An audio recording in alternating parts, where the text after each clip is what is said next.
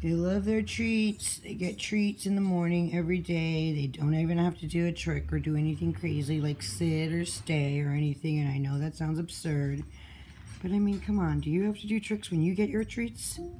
I don't think so.